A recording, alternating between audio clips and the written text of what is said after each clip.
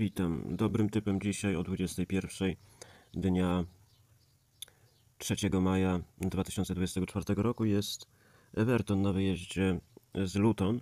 Luton e, bardzo słabo gra, szczególnie ostatnio jest spadkowiczem.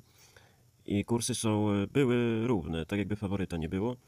A Everton ostatnio już dość długo, już z 8 meczy ma e, dużo wygranych z faworytem jakimś Arsenalem chyba. e, 2-0 jakieś co sprawia wrażenie, że Aluto naprawdę bardzo dużo bramek stra- tracił, niesamowitą ilość.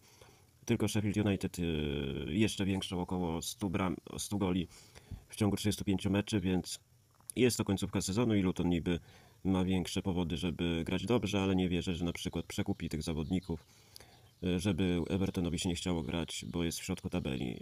Takie rzeczy, powiem wam szczerze, się nie, rzadko kiedy się, naprawdę bardzo, bardzo rzadko zdarzają.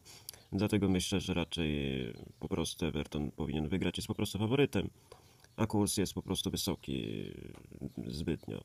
I dlatego właśnie e, wydaje mi się, wcześniej były równe kursy, teraz trochę kurs na Everton zjechał, bo to co ja mówię jest po prostu bardzo widoczne, nie tylko dla mnie, jak widać. No, Tutaj macie potwierdzenie. Ostatnie 5 meczy Luton. Przegrana, przegrana, przegrana, zwycięstwo, przegrana. Everton wygrana, wygrana, wygrana, przegrana, wygrana.